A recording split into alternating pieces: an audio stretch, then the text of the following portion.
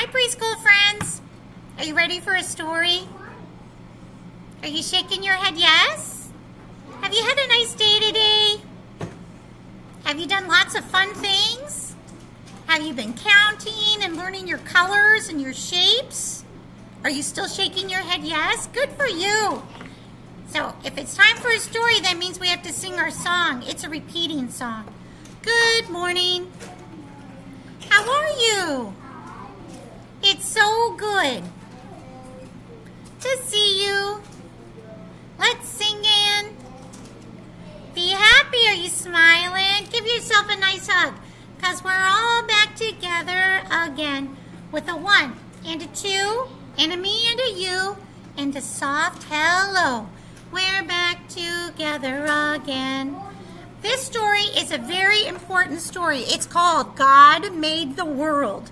Did you know that God created the world? Created everything. It's a wonderful story. It's got beautiful pictures. Let's get you all ready. That says God made the world. A long, long time ago, before God made our world, everything was dark and empty. Then God said, Let there be light. And light burst into the darkness. Look at that.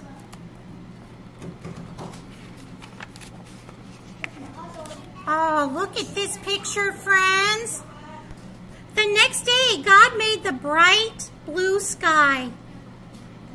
On the third day, God made the land and the seas and all kinds of plants and trees. Can you find all those things in this picture? Everything that God made was good. Do you see the water in the sky, the clouds? Can you see all these things, friends?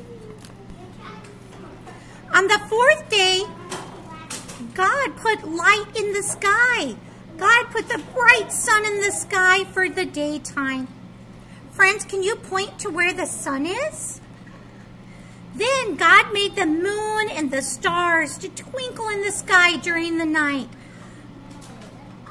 God saw that the sun, moon, and stars were good.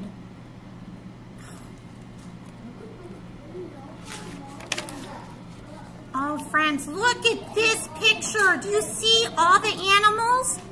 God made them. Guess what God made on the fifth day? Are you saying the animals? God made birds to fly high in the sky and fish to swim and skim through the water. How many different kinds of fish can you find in the water? Look at this picture, friends. Do you see all of them?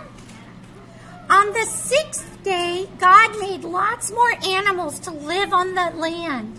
How many can you find? God saw that all the animals were good. Do you see the animals that live in the water and the animals that live in the land? God made all of them, friends.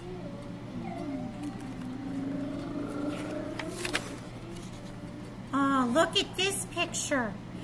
On the sixth day, God also created a man and a woman. Adam and Eve were the very first people in our world. Then God looked at he'd made and saw that it was very good. God made a beautiful garden for Adam and Eve to live in. God told Adam and Eve they could eat fruit from all the trees in the garden except for one.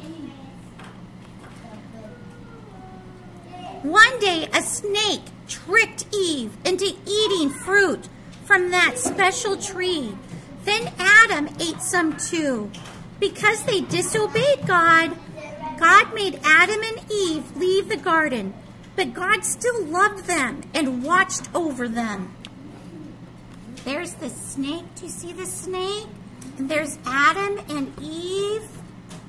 God made a special garden for them to live in. They disobeyed God. God filled our, our world with many beautiful things. God wants us to enjoy the wonderful world that He's made. God also wants us to help take care of our world. What's one thing you can do to take care of God's beautiful world? Friends, do you have any ideas? How can we take care of the world, our world? One thing would be maybe to pick up trash. There's lots of trash everywhere. That would help keep the world clean, wouldn't it? It's called recycling too. You could recycle in your house like plastic or aluminum.